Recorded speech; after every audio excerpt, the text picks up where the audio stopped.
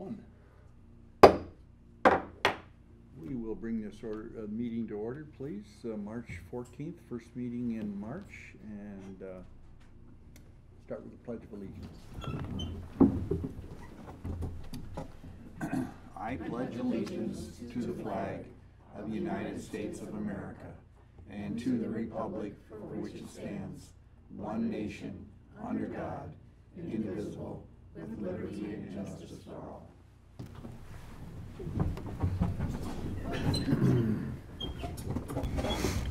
Minor, minor correction there. I said it was first meeting in March, it's first regular meeting in March. We did have a special meeting on the second day of this month.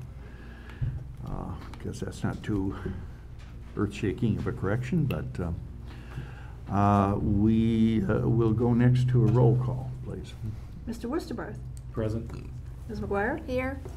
Mr. Gieske. Present. Mr. Cummings. Present. Ms. Krasko here. Mr. Weed. Here. Mr. Byer. Here, I think the heres beat the presence on that. I think there were more. Okay.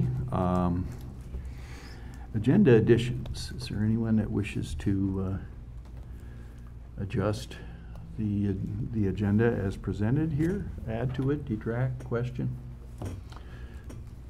Okay, hearing none. uh, Public comment is our next thing, and uh, we have two public comment periods. This one, we ask that you fill out a card giving us a- at least a hint of what your concerns are. Then there is a public comment at the end of the meeting where we don't need cards or anything like that. So do we have any cards? We have one card from Pete Simpson who would like to talk about the lift station near the village of Senascota. Okay, Pete, if you would.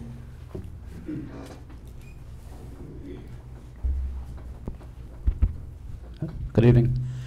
Um, It's come to my attention over the last several years, and I know everybody else here is probably aware of it, the lift station that's located on Perimeter Road, just before you cross the tracks, after you enter the base on the main entrance, is still in disrepair.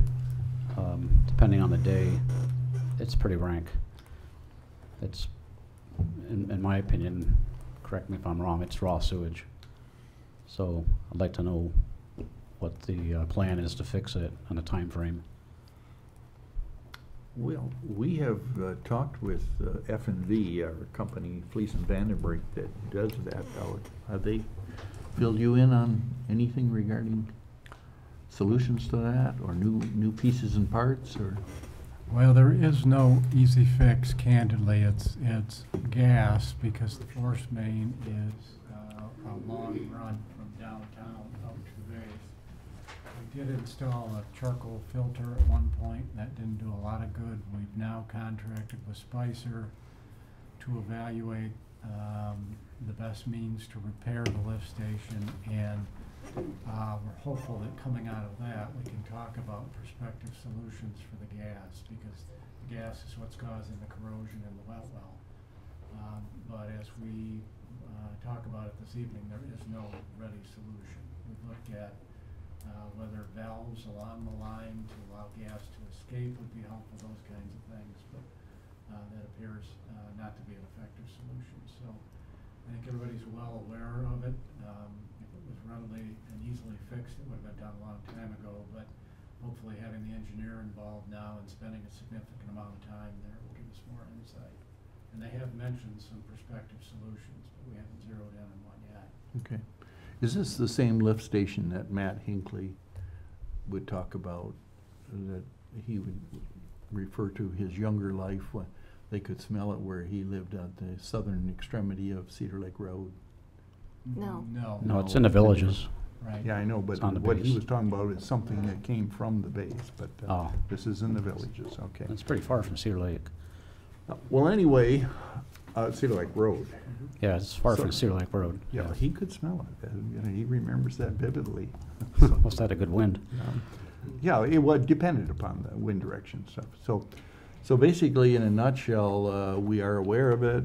Uh, we have tried various things. There are more things we can try, but as of tonight, we have no solution.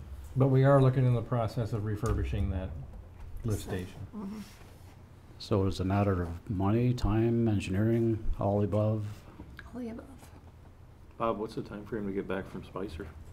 Well, They're, they're doing the study right now. I would expect that they'll have that done within four to six months.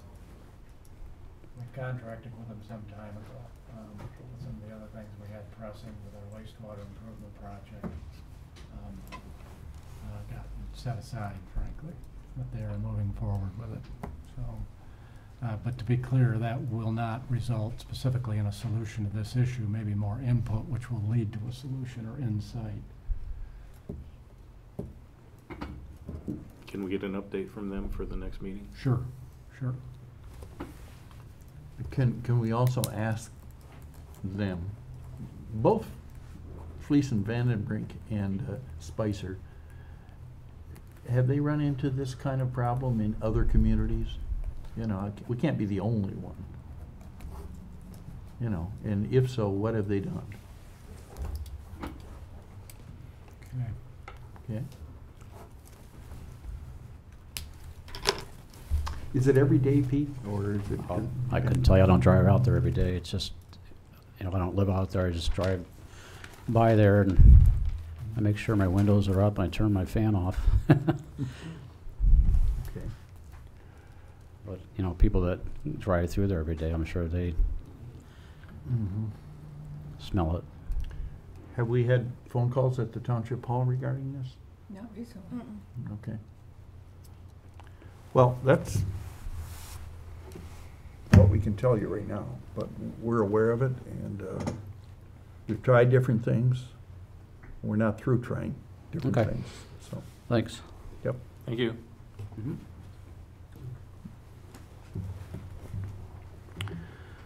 Anyone else? Uh, Bruce Miles would like to talk about a water line easement. Okay? Please? Yep.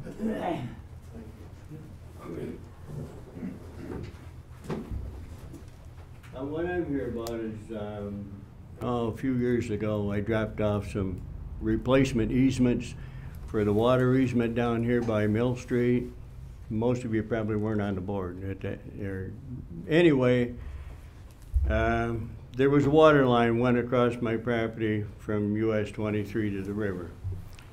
And, um, after the work was in progress, uh, the engineer and the contractor came in and said, well, we can't put the pipe where we got it marked on the map, on the easement.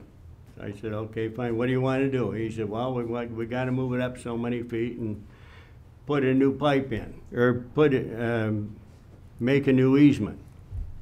So I said, okay, go ahead and put it in, and then give me an as-built easement description so I can get the paperwork done and, and, um, so the easement covers the property where the water pipe is.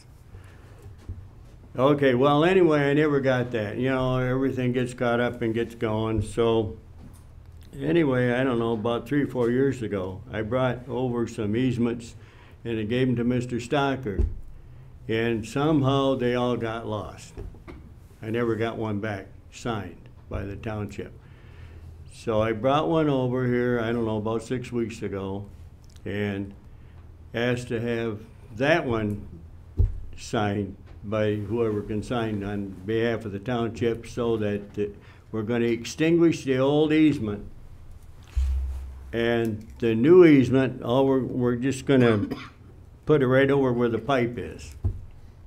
And we need to get that signed, and I gotta get it back and get it recorded. No, Okay. com- nothing complication about it, but All right. just something. Are you aware of the most recent? uh, I am.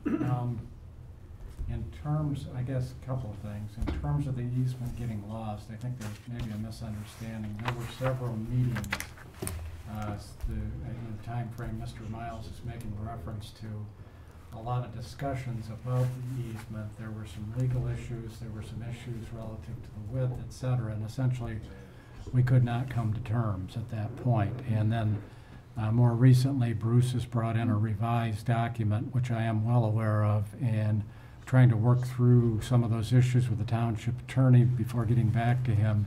and maybe try to find some middle ground as some of the issues. And I understand his frustration. It seems like a relatively straightforward thing, but there have been some concerns we've been trying to address. So uh, hopefully we can get back to him within the next few weeks, is frankly what I'm hoping, but, but So we it's are not, aware so it's not a sloppy uh, operation, it's just working out some details here. I mean, i- as far as sloppy, I mean losing things. No, I do not believe the document was Yeah. lost. There was, there were um, extensive discussions and attempts at negotiation to, to uh, come to terms with a document that, that would be potentially mutually agreeable. Mhm. Either one of you. I uh, couldn't, I couldn't hear a word you said, Bob, so I can't No, respond. Sorry to it. about that, sorry. um, w- w- Where on 23 is this, Bruce? Right down here by Mill Street Bridge, just this side, Finish line park. this side of Mill Street Bridge, That's in AuSable Township, isn't it? yeah. It is, but Oscoda Township owns the water line. Okay, okay. Yes. You wanna go through what you told him, so I know what's going on?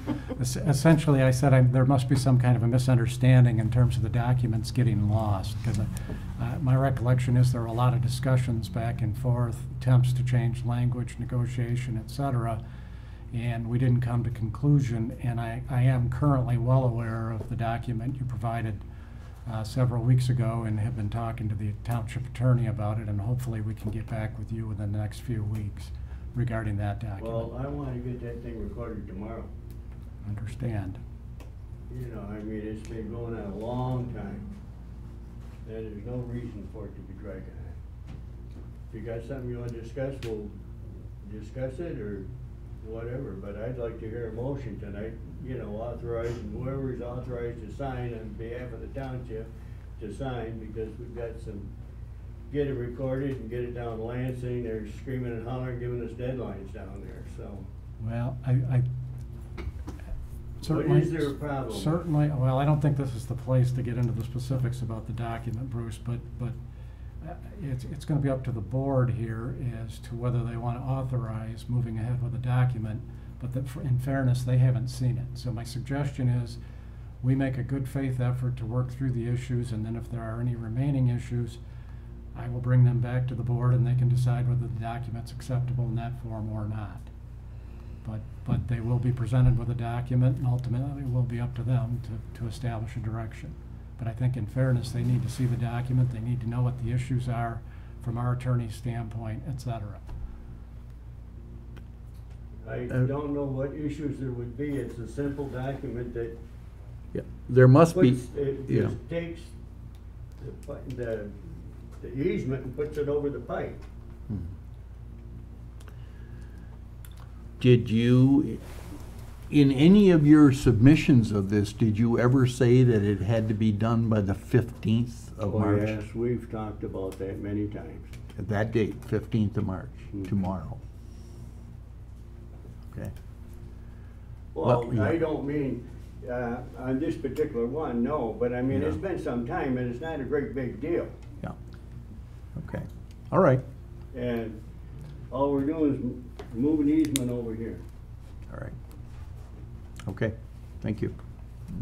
So, but anyway, I need that a lot quicker than two or three weeks. I mean, I, I gotta get it and get it recorded. Mhm.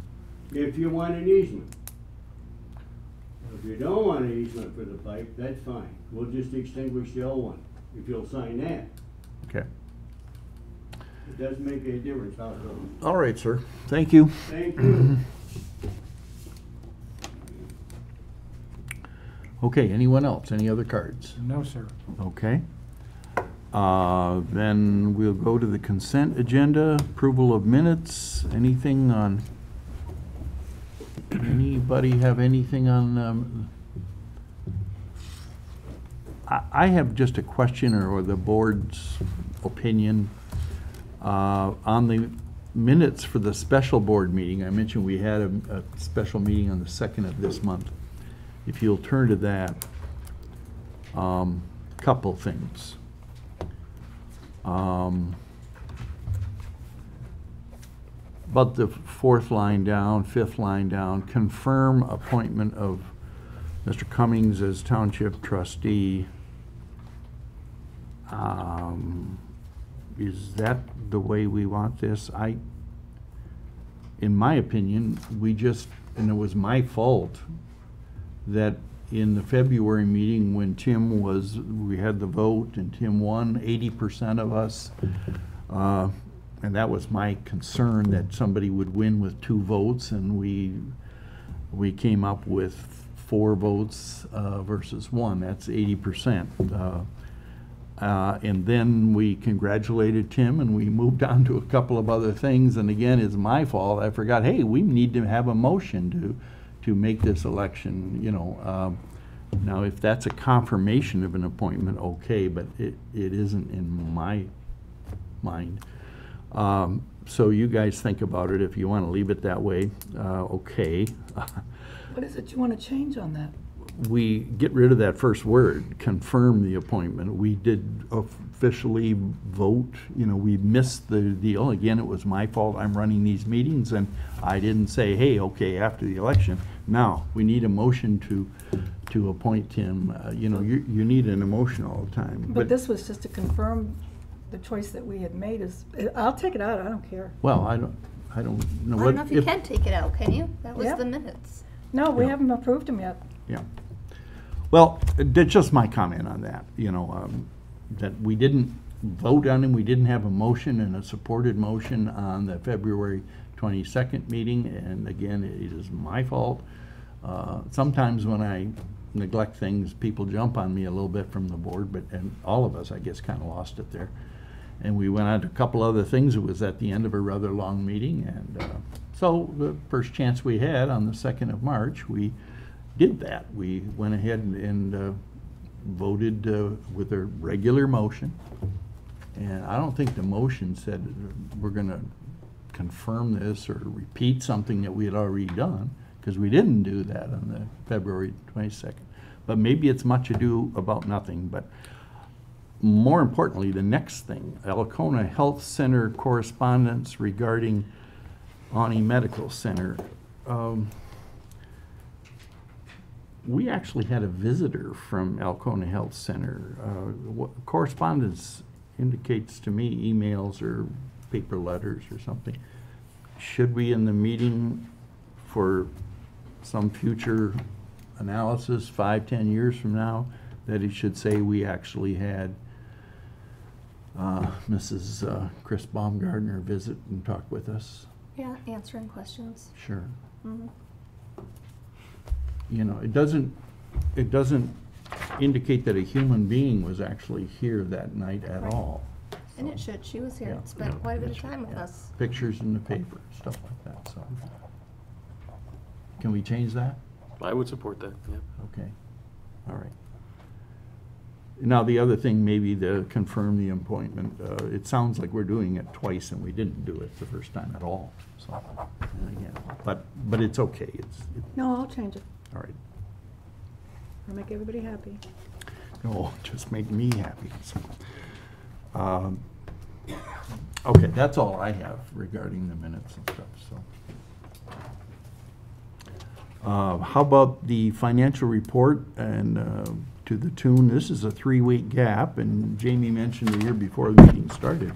It's a rather modest amount for a three-week deal, but seventy-seven thousand, uh, six hundred and sixty dollars and eighty-six cents uh, payment of bills in that time period. Anybody have a question about any of those items? No. Anybody? No. Okay. Uh, Last part of the consent agenda is we have um, three um, items, informational items from the uh, superintendent. Uh, Just a reminder that we do have a strategic uh, planning work session uh, this week. Uh, Waste management contract update on where that is, and some items regarding uh, the televising of this program, the PEG channel. Anybody have any questions about those at all?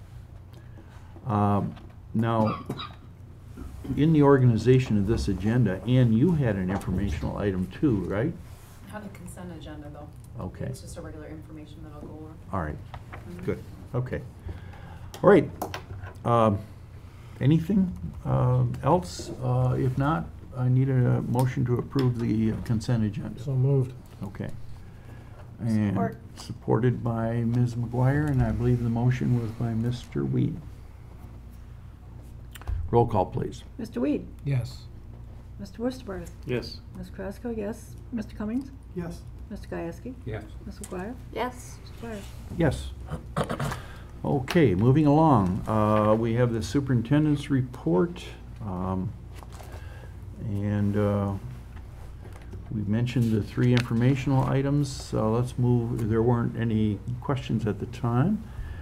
Uh, So action items, there are about four of those, I think, four or five. Uh, Five. First, first one is administrative secretary employment recommendation. Yes, uh, the uh, long-serving administrative secretary in the police department's ret- retired, and to address the vacancy, a recruitment and selection process was undertaken, and that results in a recommendation that the current part-time clerical assistant Gina Walker be transferred into the full-time position. Uh, The recommendation includes uh, the fact that the beginning pay rate would be fourteen twenty-three per hour, uh, which is step five or year five on the pay scale. Uh, That's suggested as a move from thirteen eighty-five in recognition of the additional responsibilities. If approved, the transfer would take place immediately. Um, And I note also that a question has come up uh, as of late last week um, from the collective bargaining unit uh, relative to the transfer and how we would uh, treat uh, accrual of benefits for purposes of seniority. We've got an an established practice there. Um,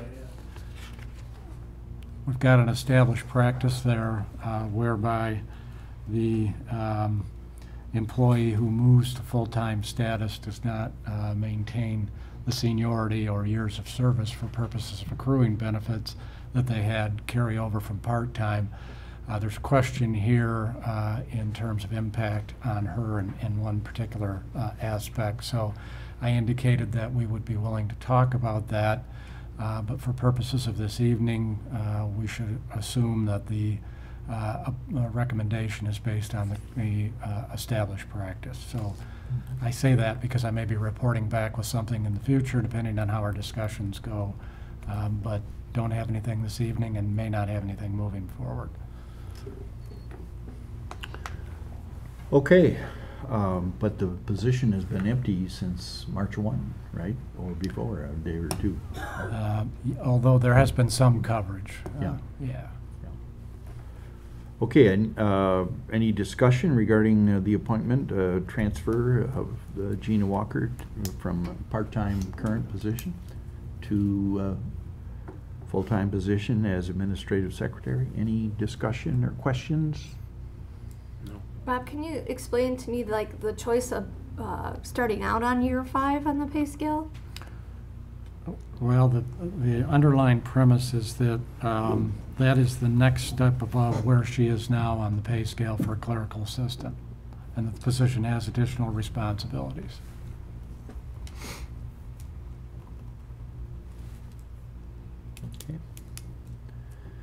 And uh, this, Gina was selected by a team of three, right? Yourself and the chief of police and one of the sergeants. Correct.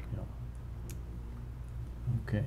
I make a motion to transfer Gina Walker to the full-time administrative secretary position. Support. Okay, the motion by Mr. Weed with support from uh, Mr. Gieske. Anything further? Questions? Roll call. Mr. Gieske? Yes. Ms. McGuire? Yes. Mr. Weed? Yes. Ms. Carrasco, yes. Mr. Cummings? Yes. Mr. Worcester? Yes. Mr. Dwyer? Yes. Motion carried. Second item, um, uh, contract operations, uh, RFP, uh, process and, uh, and, uh, direction. Yes, uh, a request for proposals for contract operations services was issued February 2nd. Uh, Several addendums followed. At the pre-proposal conference, we had five companies in attendance. Two subsequently indicated that they were going to withdraw, um, not submit proposals. We also received a request for an extension of the submission deadline, which was granted. So, uh, uh, based on that, I expected that we would get uh, multiple proposals. However, Uh, Bob, just to, for the audiences, we are talking about water and sewer services. correct. Yeah. I don't. Yes. Okay.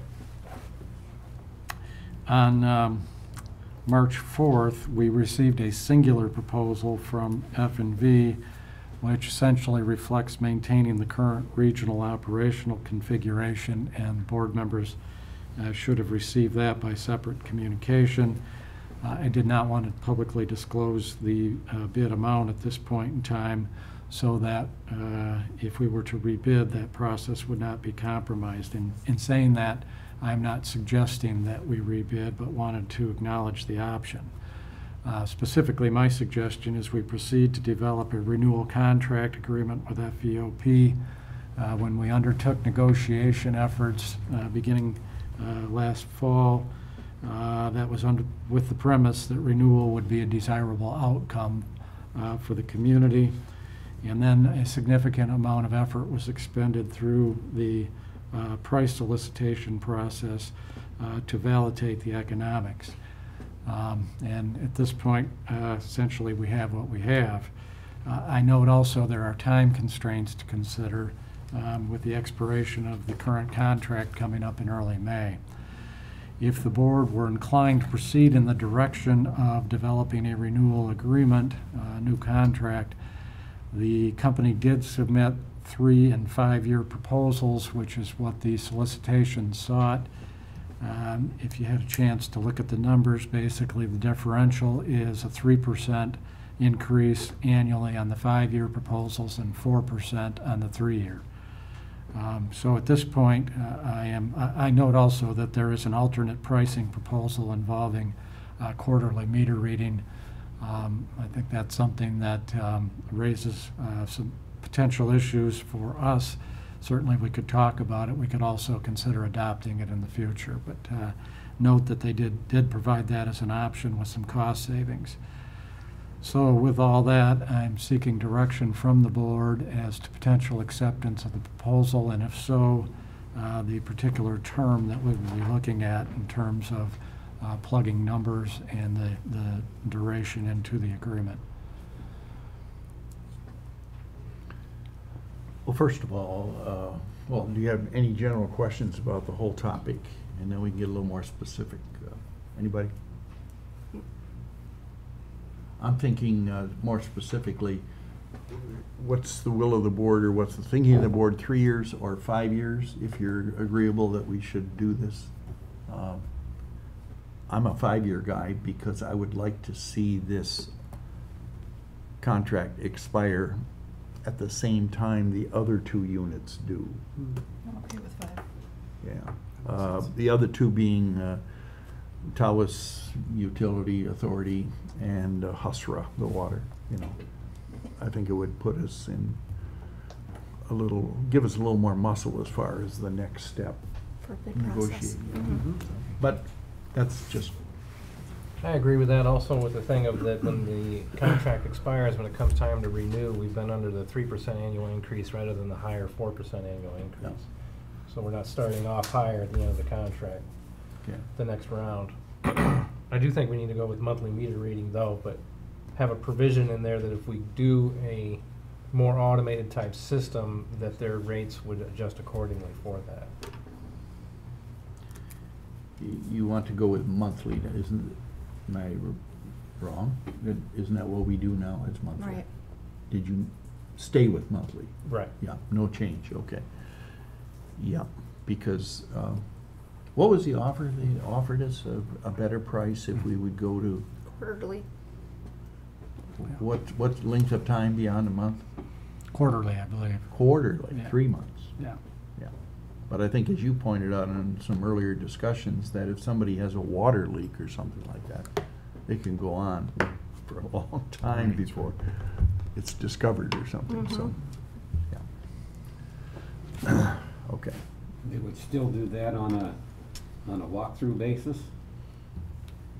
we won't be updating the, the uh, meters where you can drive by and just read them as you're passing through? They'd be walking house to house? Uh, it- it- Quarterly, yeah. It would save a significant amount of labor, and, and in line with uh, Mr. Weed's suggestion, we could try and incorporate something into the contract to acknowledge that, maybe without getting specific numbers, but an acknowledgement that there would be cost savings and the ability to sit down and, and discuss it. If we can nail down something now, certainly we- we would make that effort, but at least some kind of a reopener. Yeah. And we, so- we solved all the uh, problems we had with them as far as overtime? You- That's been paid and reconciled as of last year, yes. What's this five-year contract say? Well, that would be one of the. Couldn't read it, Bob. Yeah, we, we solved the past issues. Moving forward, uh, basically, it says now, the contract says now that uh, they need pre-approval to, uh, uh, unless there's an emergency, if they're going to incur non-routine services. And that, that was sort of, the, the language was in the contract all along, uh, but we can try to flesh that out some more in, in the renewal. But I think that is fundamentally the understanding, is that pre-approval would be required. And what does pre-approval accomplish? We then know what the costs are that we're going to be confronted with. Now. But as far as the time they spend during normal working hours fixing whatever, are they still gonna count that against us?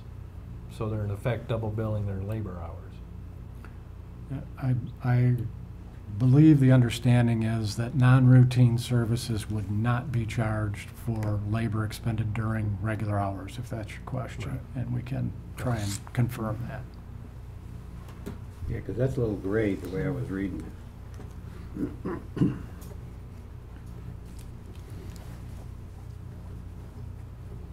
Any other discussion or any other questions?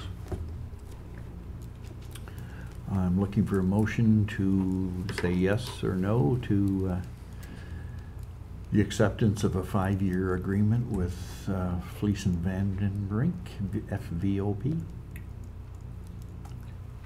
Do we need to get answers to some of these details first, before we do that? What's the will of the board on that? We could do Well- a contingent too. I, I guess my assumption is we would try and address some of these questions in the contract document, and then if that uh, approach was considered to be um, unacceptable the board, we'd continue negotiating. Okay, understood. I don't understand. Uh, Make a so- motion. So are we gonna vote yes on this tonight, or a no on this tonight, or are we gonna wait until these are ironed out? I guess I'd like to see a contract that has a little better language in it before we vote on it. So you wanna But we're table gonna this? proceed But we're Returns gonna to go labor. ahead and move forward with Mhm. negotiating the contract. under the concept of a five-year. Right. Okay. That's the motion. Okay, Yeah, w- we won't have an agreement until the contract is signed, and if we Right. want to be clear on that, we can We're put going it to in the move motion. forward with with a five-year. okay. And who made that motion? I will. All right, Support. I'll get it right. You got that? McGuire, Weed. You'll let me know if it didn't. Okay. Uh, Then, uh, if there's nothing else, uh, then we will uh, uh, call the roll, please. Mr. Cummings? Yes. Mr. Weed? Yes. Ms. McGuire? Yes? Mr. Westergaard? Yes. Mr. Gieske? Yes. Ms. Kraska? Yes, Mr. Byer? Yes, motion carried. Item three, uh, wastewater improvement project, uh, uh, two things, progress payment number five and a change order, number two, to be precise. Yes, this would be uh, from RCL Construction uh, in terms of the progress payment in the amount of $89,898.52. The work elements are uh, spelled out in the attached documentation. I note also that there's an invoice from Spicer Engineering uh, included in the packet at a cost of, uh, or an amount of $3,585. That did not get into the list of bills, so I would ask that the board consider approving that as well. Um, That would be uh, part one. Part two is change order number two, which has been proposed at a cost not to exceed $9,884. That would involve installation of a new, newly designed valve in the smallest lagoon cell. Um, The change orders prompted by feedback from our contract operator expressing concern that the existing designed valve uh, would not, when opened, allow the cell to drain entirely, would leave approximately five and a half feet of sewage in the cell. So a different type of valve has to be refabricated and installed. The nine thousand eight hundred eighty-four dollars is considered by the engineer to be uh, probably a high estimate. There's a lot of labor involved there. They think it probably could be as little as six thousand dollars, but nonetheless, uh, it's a significant sum. Uh, Having said that, it seems like uh, um, an advisable thing to do for purposes of maintenance and ease of operation moving forward. It doesn't really affect the treatment process, but there undoubtedly will be times when getting the majority of the material out of the cell would be helpful.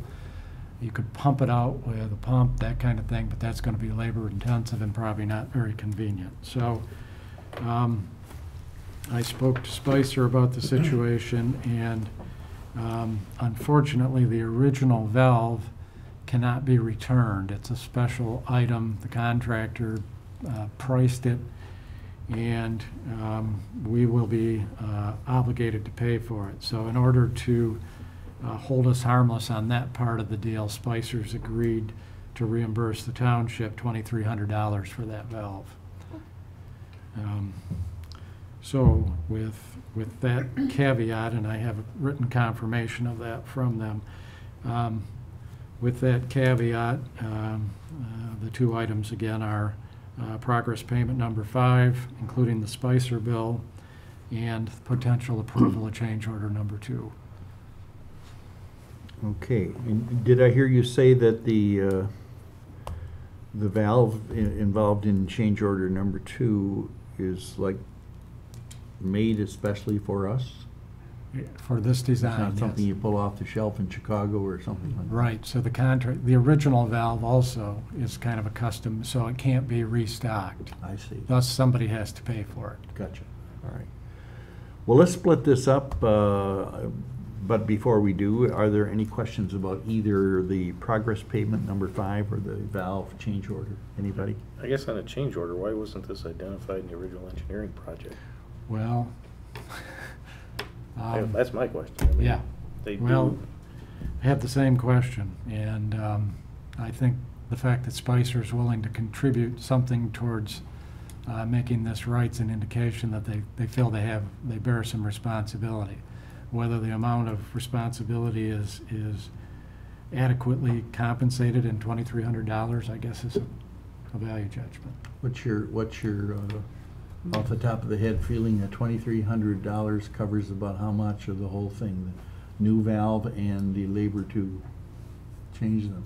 Well, as, as I understand this, so the, the, they were looking at it on the twenty-three hundred offsetting part of the ninety-eight hundred. I don't think that's actually the case. Essentially, we're obligated to pay the, the, for the original valve no matter what. So they're, they're gonna hold us harmless there. So I think we're probably looking at, in the end, a six to eight thousand dollar additional expense. Now, what happens to the old valve? Well, nobody can use it. Let's give it to Bill Hamlin to put on uh, eBay. He did- was pretty successful. well, they were interested in jest. whether, yeah, there were ways to dispose of it and make it of some value to, to either us or them.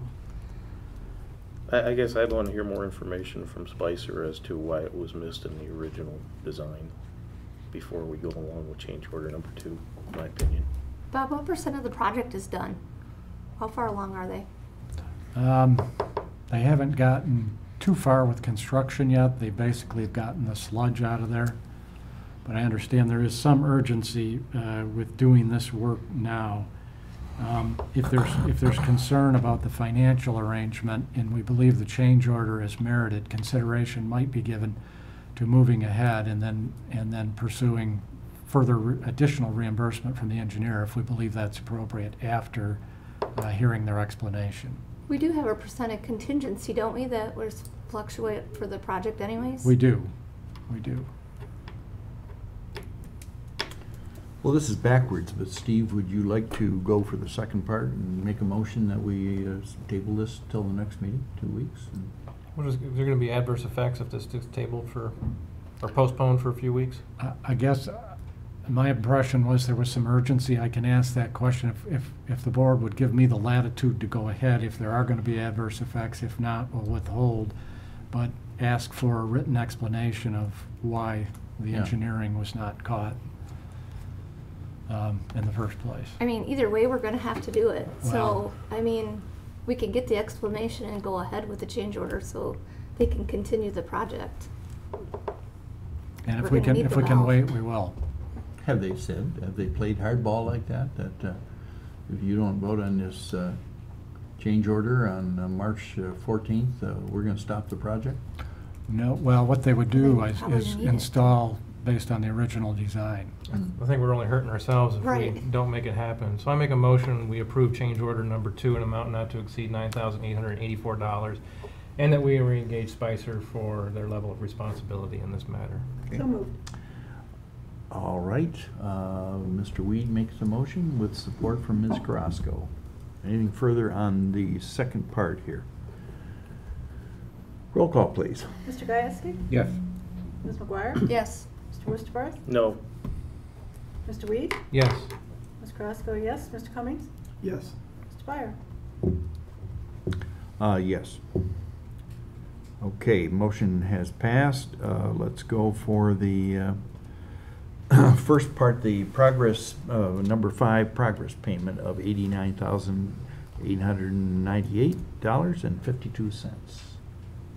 Is any, Okay, I make a motion, we make progress payment number five for eighty-nine, eight ninety-eight, fifty-two, and also the three thousand five hundred and eighty-five dollars for Spicer. Where did the three thousand?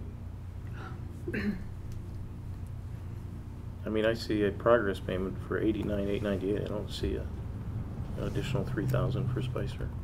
There's a separate invoice in, in the packet there. Oh, I missed it.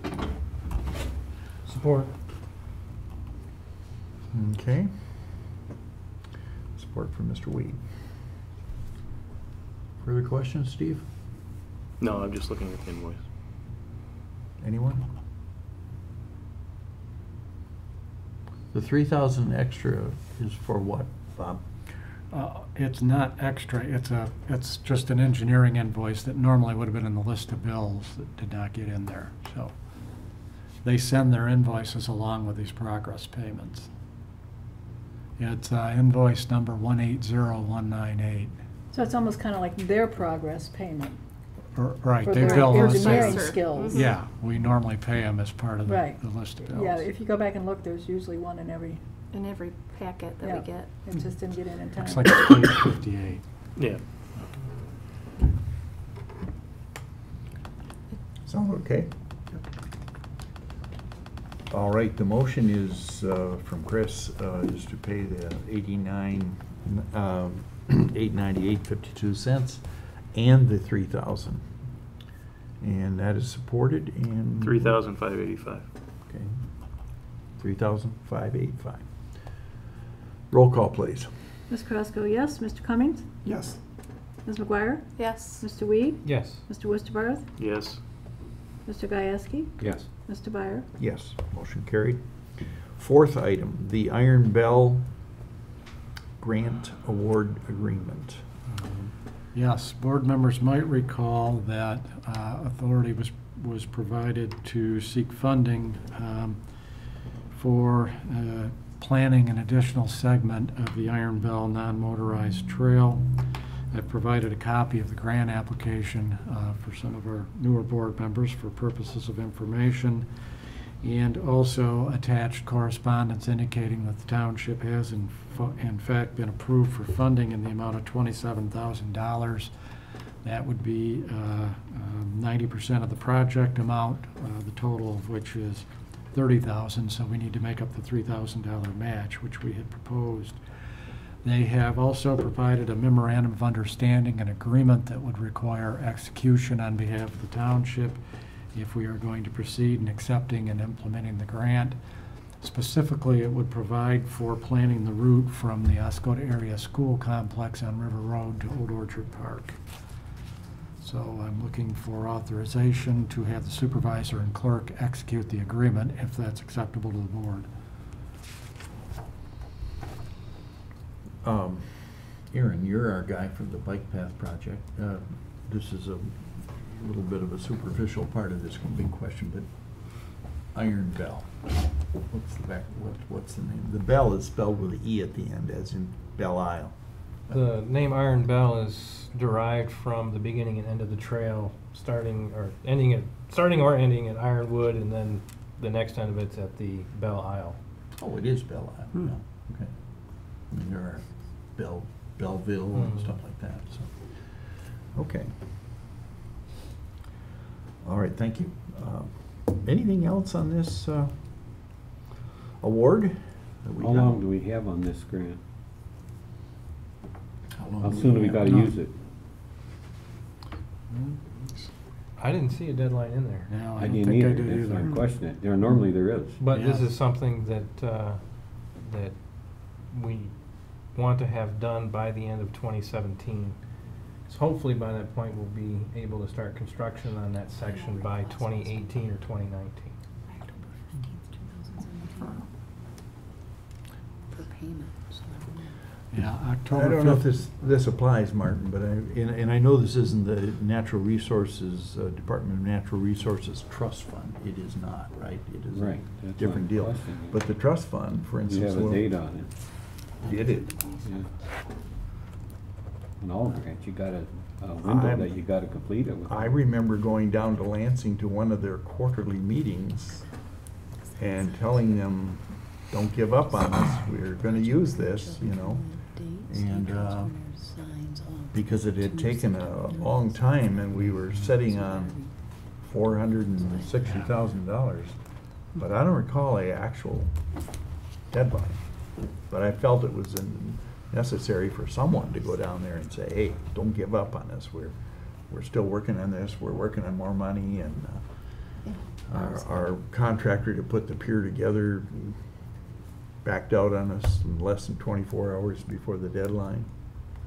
A little scary, but, uh, so we had to go another direction, get another deal, but gave us time to get some more money. Worked. Anyway, um, maybe there's a deadline or maybe not on this. one. There is, in fact. Yeah. Um, The, the project period is from when the, the trail coordinator signs to September 30, 2017. Two thousand seventeen, Yeah. Okay, thirty-first of 2017, Thirtieth, December? September thirtieth, two September thousand December 30th? seventeen. Yes. Yep. is that doable? Oh, yeah. Yeah. Okay. You hope so. Yeah, Final, re- yeah, and then like a final request for the fund reimbursement by October fifteenth. That's an easy part of the project. Okay. We're working on the hard part right now. All right. Okay, uh, I'd like to make a motion that we do go ahead uh, and uh, accept this grant, round two memorandum. Um, Do we have support? And Okay. have you guys execute? Support. Okay. Byron McGuire. Roll call, please. Mr. Weed? Yes. Mr. Gieske? Yes. Ms. McGuire? Yes. Mr. Wusterbarth? Yes. Mr. Cummings? Yes. Ms. Kraska? Yes, Mr. Byer? Yes. Okay, final item for uh, Township Superintendent, uh, water meter reading methodology. Yes. um, Some of our longer-serving board members may re- recall that we got a water audit uh, analysis performed, um, which was actually delivered to the township last August by the M.E. Simpson Company. And that was part of the uh, strategy to try and control water loss in our community and limit it. There were several recommendations set forth in the audit. The highly, uh, most highly prioritized appeared to be metering of the Silver Sands subdivision, which uh, our contract operator is uh, evaluating. However, one of the recommendations that was advocated by the contract operator, uh, in addition, which is also referenced as a recommendation in the audit, is to begin billing in units of 100 gallons versus 1,000. Um, To uh, further the, the uh, information found in the audit, uh, F and V had asked Simpson to comment specifically on the benefits of doing that, and that resulted in a fairly lengthy email, which is attached to my report. I had uh, candidly expressed some uh, reservation about the potential for significant water loss gains with this uh, particular concept due to the fact that you always catch up, if you will, on those readings the following month. Um, However, at any given time in the system, it would also seem pretty obvious that there is a, a- an apparent water loss embedded in that you've delivered the water into the system, but anything less than a thousand on any meter hasn't been billed for. So that shows up as loss in our calculations. Uh, Also, when we take a meter out of service, any of the, the uh, usage that's less than a thousand gallons is lost. So if we do a meter change-out program or anything of significance, uh, that, that loss can be fairly significant. Um, In the final analysis, I believe the, the uh, approach uh, in billing uh, of using hundreds of gallons will have some water loss benefit. We just don't know frankly how much. But it seems like a reasonable step in eliminating a variable we now have if, for instance, our water loss, and, and one thing I didn't mention in the report, it looks like it did drop last year from 38 the previous year, based on what the auditors are indicating, to about 30. Nothing to write home about, frankly, but it's better. So using that 30% number, if, say, 6% of that is uh, due to this billing uh, process, then you know your, your real target is significantly smaller in terms of getting down to a, uh, what would be considered a normal water loss percentage. So, uh, based on the premise, we might want to consider doing that. Staff took a look at the uh, procedures required, the technical aspect of it, and our billing software supports it. It's a pretty uh, straightforward changeover. Um, So, uh, all things being told, uh, I had suggested that uh, we begin billing in hundreds of gallons, beginning with a cycle on March 27th. I think this evening I'm going to suggest we push that out a month uh, because probably we're going to need to adopt a revised rate structure uh, acknowledging, it wouldn't change the rate, but acknowledging that we're, we're billing in hundreds if we decide to head in that direction. So we'd be looking at uh, April instead of March. But uh, with that understanding, uh, I'm uh, seeking potential approval from the board to modify the unit of measure, uh, subject to whatever rate uh, adjustment might be appropriate, and begin that process in April so that we can get notice out to folks. And I think the notice is somewhat important because there will be for uh, some people, and it will vary account to account, uh, a perceived increase in the bill or uh, an actual increase, and that that catch-up will take place, and then it should stabilize month to month thereafter. Has there been any discussion on the type of notification you're gonna give the customers?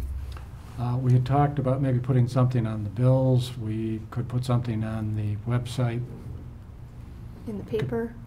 paper. probably? We could put something on the sign in the front if, if the board thought that was appropriate. So technically, just so people are aware, their bill's not going to go up. It's just going to be billed so we can account for the water that's, that's sitting there, because that's, that's a big question amongst them where they'll come in one month and say, how come my bill is so much higher? It says I used four thousand and I only used three thousand last year. So then we have to explain that it doesn't roll over and tell you, if you're sitting there with nine hundred and ninety-nine gallons of water in there, it's only gonna show three thousand, even if one click over is gonna make it four thousand, so automatically, you're getting billed for that thousand gallons that you used last month, so I think with the hundred gallons, that's gonna make it a little bit easier, where we don't have mm-hmm. that sitting there, and they're gonna understand how the billing works and how much actual water they use each month, instead of this, well, I only use three thousand, but in, in reality, they used almost four thousand, so I think it'll help out in that way too. Right. Hmm. It's definitely much more accurate month to month.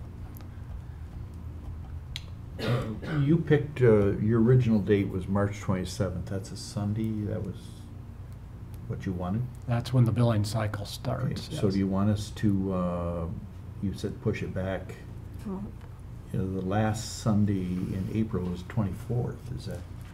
Doesn't it run twenty-fifth through twenty-fifth though, regardless of what day it falls on? Yes. So, Does it? Yeah. Mhm. Okay. So, twenty-fifth of April? Okay. All right. Uh, Further discussion or a motion that we do? Uh, Bobby talked about the software being able to support it. Was um, that a discussion with the utility billing clerk also that she's aware of the change coming and has had a chance to look at how we're gonna handle things? Yeah, she's well aware of it. She's in fact the one who spoke directly with BS&A to confirm that, that we could make that Okay. transition. Okay, do we have a motion? make a motion that we go from thousands of gallons to hundreds of gallons effective with the four twenty-five billing cycle. Okay. Support. Okay. um, Motion by Ms. Carrasco with support from Mr. Cummings. That we do go ahead uh, with the, uh, the new cycle of hundred uh, gallons and it'll be effective April two five, two thousand sixteen. Roll call, please. Ms. McGuire? Yes. Mr. Wusterbarth? Yes. Mr. Gieske? Yes. Mr. Carrasco, yes. Mr. Cummings? Support, yes. Um, Mr. Weed? Yes. Mr. Byer? Yes, motion carried. Okay, we move on, uh, I believe, to uh, Community Development uh, Coordinator Ann Richards. So, uh, Ann? Okay. Oh, your first action item is VA expansion project. All right. Sorry. The VA expansion project. Uh, This evening, we have invoice number nine. So actually, the uh, bills for this uh, meeting were higher than the seventy-seven thousand, because Bob and I both have additional um, bills that weren't included in there. So it really wasn't a light month, it was a heavy month. But Mm. anyways, invoice number nine dated March 9th is in the amount of one hundred and seventy-nine thousand, eight hundred and sixty-four dollars for work completed or stored to date. Um, And again, it's put on the agenda this way by your request back in 2015. We've been going on this project for uh, a little over a year now. Um, Not with the extra construction part, but floor coverings have been ordered. Um, The cabinets and ca- casework were actually delivered this week. They're all stored actually in the um, undeveloped part of the hospital in the hallway, um, not in the suite itself because the floor coverings have to go in first, so. Um, the whole suite has been, um, completely primed and painted with one coat of finish paint. And the mechanical inspections above the ceiling have been completed and approved. And work has begun on the exterior vestibule entrance. So things are progressing nicely. And I'd, I'd like to sneak that little uh, explanation from uh, last meeting is that this money is being paid by the township, but uh, once the project is finished, a large portion of it is reimbursed to us by the, the Veterans Association or Administration. Right, the, the tenant improvement component. Yep. Yep. Okay. I'll make a motion that we go ahead with invoice number nine for one hundred and seventy-nine thousand, eight hundred and sixty-four dollars. Support. Technically, though, that one goes on the prepaids for the next list, All right. just so you know. Ann was kind enough to give me a tour, though, out there today, and if you haven't been out there, you need to go check it out. It's very cool. Really? It looks just like it's a completely brand-new building. It's amazing. It'll be on your stops on Thursday, Tim. Yeah. When you Bob and I were gonna take a, uh, a tour, and then I think that was the first of the storms that was raging outside. Mhm. We didn't, we didn't take the tour. Well, Made it in there. We So on schedule? Hmm? We on schedule for completion? Uh, Well, we're close. Mm-hmm. Yep, The we're good close side, on I schedule. hope. The Hmm? an- the The answer good is- side, I hope. For what? The good side. Oh, well, we're, I mean, we, it all is, the inside work, we're maybe a week or so behind because we had a delay with that floor coverings being ordered. Um, the exterior work can't start until the restrictions are lifted from the road, um, commission. So it just depends on what happens there. Um, Schaff and Associates are doing that work. They're ready to go when those restrictions lift. I think they estimate two weeks to complete that, so. So hopefully, we'll be on schedule. I'm, the, um, they're itching to move over to their new space, put it that way, so. Anything else on the VA? Okay. Next item is an informational item. Need a roll call. Okay, sorry. That's Roll call. okay. Roll call. Mr. Wusterbarth? Yes. Ms. McGuire? Yes. Mr. Gieske? Yes. Mr. Cummings? Yes. Ms. Crosco, yes. Mr. Weed? Yes. Mr. Byer? Yes. Okay. Next item, informational item, but uh, this is a pretty important one. Uh, There's a lot of wild rumors about water quality that are going around this town. And uh, so Ann, you have some information from the uh, Michigan Department of Health and Human uh, Services? I do, thank you. So Please, li- please listen, everybody, at home or here. Listen closely. Just kidding. Um, In December 2015, the U.S. Air Force and MDEQ sampled private residential drinking water wells near the former Wurtsmith Air Force Base in Oscoda for perfluorinated um, chemicals, or PFCs. Following the discovery of PFCs in drinking water wells um, from a mobile home park near the former Air Force Base. Those results were shared with those well owners. Based on their interpretation of the results, um, The district health department, too, has provided health advisory information to the owners of the tested wells, recommending that they not drink or cook with the water. The MDHHS, which is the Michigan Department of Health and Human Service- um, Services, supports the advice issued by the District Health Department Number Two. At this time, no assistance is being offered by either the agency to provide short or long-term alternative water supplies to the um, affected well owners. In an effort to hopefully extinguish some of the possible rumor mill that has definitely ignited, uh, staff would like to reiterate the very, a few very important facts in regard to this advisory. Municipal water for Oscoda, which um, originates from Lake Huron, Lake Huron, and is provided by the Huron Shores Regional um, Utility Authority, Authority or HUSHRA, is not impacted by this health advisory. Further, this advisory is not for all wells within the township boundary, but instead has been narrowed to a specific area between the former Wurtsmith Air Force Base, Van Etten Lake, and Van Etten Creek.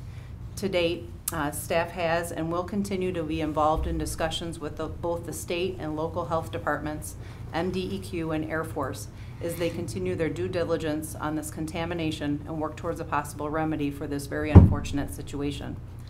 Um, There is an upcoming uh, public open house and meeting regarding the public health and cleanup activities at the former Wurtsmith Air Force Base. In addition to uh, discussing, discussing the effects this recent drinking water well um, situation. They're also going to be discussing the do not eat fish advisory for Clark's Marsh that was actually issued in May of 2012. The meeting is scheduled for Wednesday, March 23rd, which is next week, at the Oscoda Methodist Church. The open house will take place from 2 to 4, and the community meeting will be at 6. And I'm assuming there'll probably be something in the paper, um, I believe this week, in regard to that public notice, so. Um, I, I know that, um, my office has received several calls, the water department has received several calls, and we just wanted to, and I'm sure the, yeah, I'm sure Natalie has out at the villages of Oscoda. Um, but municipal water is not affected whatsoever. And the drinking wells, which I personally have a drinking well at my house and on US twenty-three, but, um, again, it's contained to a very specific area. About twenty-four residences were checked, and, and not to belittle the fact that it's a, I mean, it's, it's scary for those twenty-four people, obviously, for twenty-four houses. So, um, but it is not a municipal, um, water supply issue, so. We will continue to notify the public as we receive information. So what is the joint effort doing for the twenty-four people that are affected right now? I mean, living with water, without water is not an option. Right now, they're doing nothing. What do we have to do to get something going quickly? I mean, They're gonna be coming next week, I guess Bob. no, I, jump no, I yeah. understand that, but I Right. mean, that's next week. This is Mhm. today. I mean, have we called our senators, congressmen? Yes. Are they doing anything? We're in the- No. We're in the process of scheduling a meeting later this week with congressional aid um, here in Oscoda. But um, so far, that, that is where we are. And part of the reason is because the levels have not exceeded what the state or federal guidelines recommend as being an issue. So the health department made a call, made their interpretation, so. Even though the levels do not exceed the, what they consider to be the norm, this is just like more or less precautionary, then your levels are too high. It's just, your levels are in the water, so caution is required, basically, yes? They're making their own determination, basically. Well, they, they haven't really established a regulatory level uh, at this point, but uh, I think, and certainly, we don't want to be in a position of trying to speak for those regulatory agencies, but it would appear that they took the more cautious approach in issuing the letters.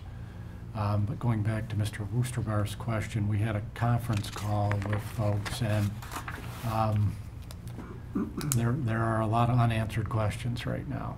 And we tried to pose them and get folks thinking about it. I mean, filtering water is potentially an option and those kinds of things. And hopefully, um, by the time the, the uh, governmental representatives are here on the 23rd, they will, they will have some feedback for people. But that was exactly our question, is what, what did you uh, expect in terms of being able to assist these people in the short term, given the position you're taking relative to this drinking water? And Bob, can you supply the board with the name from the MDEQ and also the Air Force who's managing this We sure can. with contact information? Thanks.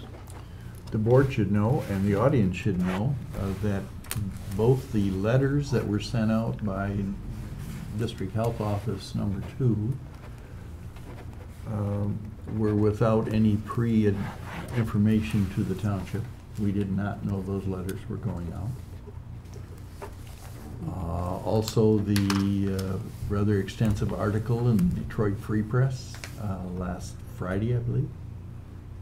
There were, was no contact. The writer of that did not contact any local government officials about that. So, uh, uh, kind of on a, uh, out of the loop on a couple of these, you know.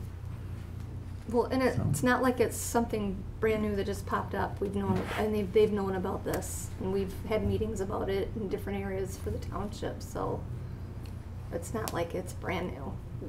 Well, the well contamination, um, situation is December, basically, is when we were made But they've been monitoring and doing Right. different things for the PFCs, correct, in the area for years. Well, they've been doing it for a long time, but I mean, if I was sitting there and I got this letter in my mail, especially with everything that's going on in Flint right now, I'd be quite concerned. Yep. If they're saying, do not drink or do not cook. Well, yeah, I'd be concerned too. So I think we we- just, as a board, we need to contact these people and They Mhm. tell them that it's an urgent situation up here. I think in a uh, telephone conference call, uh, you guys were involved and I think you asked the question about, why didn't you tell us this, that these letters were gonna go out? We're gonna be deluged with uh, calls and panic and so forth, and they didn't really have an answer, is that right? Chris Bush, the, um, I think I forwarded the email, the toxicologist with, um, the health department with the state apologized for them not notifying us before they sent the letters out. So, but otherwise, they have been notifying, um, us in the steps and in their reports, but they did not send the, the heads up that they were sending that letter out Hmm. to the well owners. And we've already Correct. expressed our urgency to the senator, correct? Correct. Yes. The state senator? Yeah. Well, our contact has been with the U.S. Congressman's aide at this point, but we intend to talk to the state folks as well. I mean, uh, the extent of uh, concern among the public. Didn't- You were telling me today that someone from Delaney called you? Oh, no, that wasn't me, that was Jessica. Oh, No, that was me. Oh, that was you, okay. okay. Is that right? I knew it wasn't me. Delaney, Curtis Township, Alcona County, lady called. Mhm. Concerned about our well water. Yeah, Mhm. yeah, it's, Well, it- I I mean, it, and it it started back obviously with the, with the Flint, you know, situation and so on. Yeah. And so any, every, you know, know, everybody's concern, I'm sure, is heightened. But that's why we wanted to read this out and indicate that the municipal water, you know, is Right, not. It's two different things. It's two different things, and it's not all wells within this township. It's a, a- again, I'm not trying to take away from the twenty-four wells that are affected, Right. but it is not all wells within Oscoda Township, so we're not looking at a, um, at this time. Can we make that a line item in our work session? And for the audience that are maybe a little church challenged, uh, the Oscoda Methodist Church is the one that is directly behind the Oscoda Township Hall. And that is a week from this coming Wednesday, not this Wednesday. So probably should have, uh, am I right here, that the state representatives, state senators, possibly representatives of the US congressman?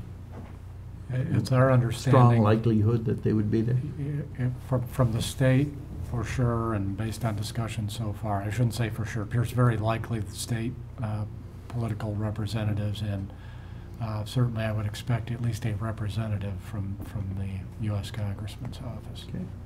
And I guess also to note that JD's crew is gonna be there taping the public meeting. It will not be a live, um, replay, but it'll be taped, it'll be shown later on, on our channel, so, so that will be shown to the public. That's all I Okay. have. Thank you. Mhm. Ian? Thank you. Okay, next we move, we have one uh, resolution uh, we have to deal with tonight. and uh, That would be a resolution regarding uh, funding of senior citizen uh, millage. And uh, the number isn't on there, but my calculation uh, would be, this will be resolution number 2016-07. Correct. Yes. Um, If adopted, this resolution would authorize placing renewal of the senior uh, citizen millage uh, before the voters at the August primary election. The uh, term of the millage, if approved, would be five years uh, at the uh, rate which has been rolled back uh, by the various uh, taxation control mechanisms of uh, 9.89 cents per thousand of value. That would result in an Oscoda Township of a collection of about $28,220. If the board is inclined to proceed, I would suggest that the resolution be approved, uh, subject to concurring approval of a town- AuSable Township of a similar proposal. And we have shared this particular uh, format with the AuSable Township. Any discussion? Need a motion to uh, vote on this resolution? Okay, all support. Mr. Gieske, Mr. Breyer. Anything further? Roll call? Ms. McGuire? Yes.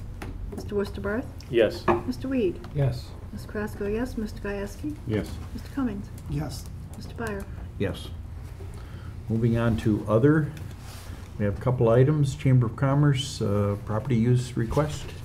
Yes, we have the uh, annual, I guess, request from the Chamber of Commerce to use uh, the Oscoda Beach Park for Art on the Beach.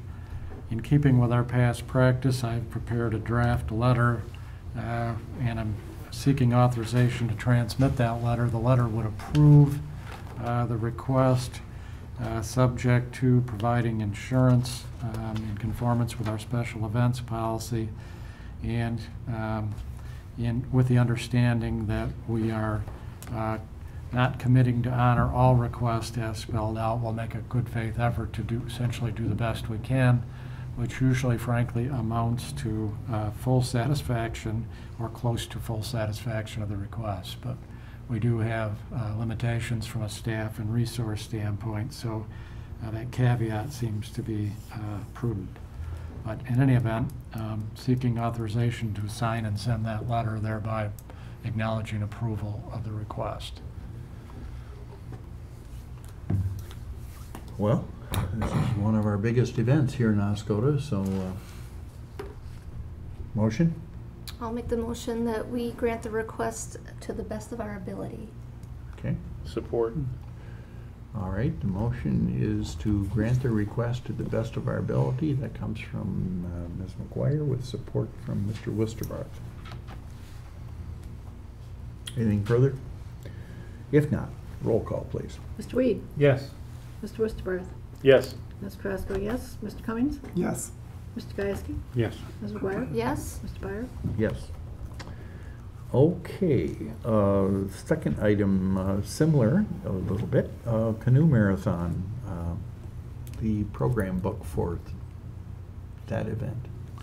So This would involve potential participation in the program book uh, in terms of community promotion. Uh, In the past, we have purchased a full-page ad. A copy of the ad that was uh, used most recently, I believe, was included, and also the minutes from last year um, demonstrating uh, that we had approved uh, the full uh, page color ad at that time. The cost uh, is again $500 if we're inclined to, to follow the same course of action. Wish, what is the wish of the board uh, as far as this program? Go ahead with it? Do we have time to change the pictures or no? Um, No. Not certain. No, it's due today because of the timing of, we didn't get it in before the last board meeting. They're going to call us tomorrow and, I mean, we can ask them if you want to change the pictures, but the deadline is today. I just would like to change one of the pictures to the yurts that we talked about in the, and change the wording maybe a little. If not, that's fine. Who gets the contact call? You, Chris? Mm-hmm. Can you ask them about, can we tweak at least one of the pictures you're concerned? Yeah, get rid of the tent and, Yeah. What do you want to do for wording? uh,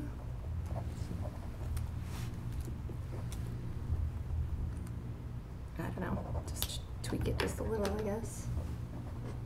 Well. Or you could leave it, actually, and just put a picture of the yurt in there. Yeah, because it says newly constructed yurts, Yeah. so. So you want to change the tent to yurt. Mhm. Okay. Do we have pictures available of? I think that? so, I think Mary has some. Yeah, okay. All right. I'm guessing they're gonna say okay, as long as we're, If not, leave I- it. They Same. just may, but they just may want the commitment so they can make space for us at Right. this point. Sure. So, yeah, we can ask if they can change the pictures and stuff, so I think if we commit, we might have a chance at that. okay, I make a motion that we do go ahead uh, with this annual uh, community promotion uh, advertisement in the program for the canoe marathon. Support. Thank you. For full page? Mm-hmm. Yes. Yes. Okay, roll call. Mr. Gieske? Yes. Ms. McGuire? Yes? Mr. Weed? Yes. Ms. Carrasco, yes. Mr. Cummings? Yes. Mr. Worcester? Yes. Mr. Byer? Yes. Okay, we're at the second uh, public comment. Uh, Anybody wish to speak? Okay, Uh, excuse me? sure.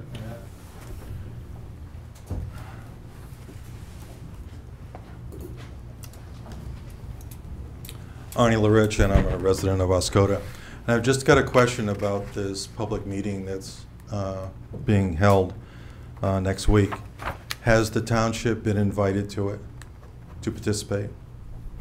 I don't know whether- I don't think formally. um, Okay, if not, then I suggest that we request that the township, because it's my understanding that uh, the township has a significant, um, and if you stated, you know, you're a little upset that we weren't, you weren't notified. More than a little.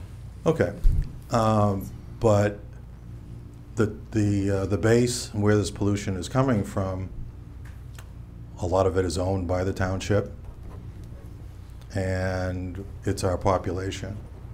So I would suggest that the township take almost an equal role and at least being a participant and on all invitees lists for the future also. And this is a good way to start. Right. And I'd also like to suggest that the township, at this meeting, outline where the township uh, responsibilities and uh, participation in all of this with the Superfund site and how it works, because the public is not going to understand where it all sits together, hmm. fits together. Just a suggestion. Okay, thank you. To be fair, we have been made aware of when that informational meeting is, and the- the, I think the, the understanding from the folks from the other agencies is there will be township representation there. It's a public meeting, so. But we have not been formally invited. No, we've not, Yeah. but, but I To think they, participate, right. I think it's a very good point Yeah. that we make them aware that they need to focus attention on the leadership of this township also, to make us more involved with it rather than kind of treating it like we're just part of the, I don't know, part of the masses that, you know, because we're the ones who are making some decisions here in this matter. And the reason I came up with that question is I looked at the draft agenda for the meeting Mhm. that they published in their letter that they sent you. And you're not even mentioned, unless it's introduction of elected officials. But that's And I I would Yeah, bet that that they would would be definitely state officials, probably. Right. Yeah. And my comment, I, I think you know this, my comment about being left out of the loop before was, number one, uh, when the letters were sent to individuals about their wells, we knew nothing about that. And number two, uh, less government or organizes the Free Press article, and, and that's a journalism thing, but they didn't contact anybody here with that front page above the fold thing. Right. But as Ann said, the Yeah. township knew that the samples had been taken, the study Yeah. was being Yeah. done, and all that, so. Yeah. Someone made a mistake knew. in not sending a notice or a copy to you, that's for sure, but mm-hmm. it's, I think the future is more important, that the township be an equal partner in this. So These are your We need to squawk a little bit about, hey, we're here, you know. Squeaky wheel. Yeah, yeah. Yeah. Well, thank you. Anybody else have anything to say? Okay, uh, board comments? Anybody? Me. Sure. I'd like to thank everybody who worked the election, who were the election inspectors, uh, the information desk, all of the workers. Thank you very much. Job well done. Thank you to all the voters who came in. We had an overwhelming turnout, far more than we anticipated. Um, It ran very smoothly. Thank you, voters. Um, We also have the petitions in my office for anybody who would like to put their name on the ballot um, for November. For any position, there are seven positions. You may put a petition in for any of the positions, whether there's someone sitting here now or not. Uh, And we also would like to put a call out for anybody who would be interested in being an election inspector. Um, They just have to fill out an application. They have to, um, just some simple questions. Uh, It is a paid-for-the-day position. It's also paid for any classes you have to go to. Um, And if you would like to get any further information on it, you can either come in and see us, pick up the application, give us a call, 739-4971. So- Yeah, 739-4971. I don't usually call myself there, so. But um, we're available if you have any questions, and um, we would like very much to have you as a- an election inspector. So, just call. Christine, just for clarification for everybody who wants to put in their, submit a petition, when are they due? They are due as a partisan, if you want to be partisan, it is April 19th, if, you're- if you're nonpartisan, because these are considered partisan positions. So if you want to come in as a nonpartisan, I believe you have until June 19th to do it. But April 19th. um, July. Is it July? I thought you said July for the nonpartisan. Okay, I knew it began with a J. Um, Didn't, didn't look to see. But- January. January, yeah. So, yeah, just, if you're interested, just come in, give us a call. We can look on the, on the petition and, and see when the date is. Um, Pretty simple procedure, not scary, Mhm. so.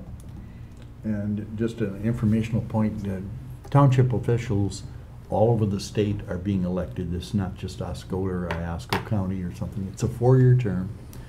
Uh, It's easy to remember, it coincides with presidential elections. Uh, I don't know how that happened to start eons ago, but that's the way it is. So, uh, and these roles uh, are not staggered like school, school uh, board roles are, you know, somebody's up for election, somebody's not. No, all of us, everywhere statewide. So, okay. Anything else? I'm looking. Can I ask another quick question? since you Sure. brought up the topic? Sure. Uh, I'm getting that- blamed for this. That question is, uh, I understand that uh, the elections were, positions were staggered at some earlier time, and I was Mhm. wondering why they're not, and is there a reason that they're not staggered now? Uh, Or why they shouldn't be. Positions up Yeah. here? Yes. Oh, I don't know. They've Oh, just They've up here, I, always I been don't the think, same that I I think it's know. always been, a s- No, we used to whatever have- the We rules. used to have two, two years terms, Really? trustees. Hmm. Oh, Yeah, because it's a big board, and Yeah. a big board kind of takes a big part of the, the pie of the voters. mhm. And I'm just curious, from my So- experience in other parts of the country. Yeah, well, so am I, uh, because I, uh, have anything to do with as. That would be something the state as the decide, newspaper editor pointed out, uh, the high school government teacher should know these things, you know? So, so, uh, I, I I am, I can't give you an answer. Maybe a on that. future discussion. No, I, I'll uh, give you a call when I find out, because I am gonna dig into this, I'm curious. Yeah, So, As far back as I knew, it was always the four-year thing, so I don't Yeah. know when it changed, so. so, thanks, Arnie. Me too.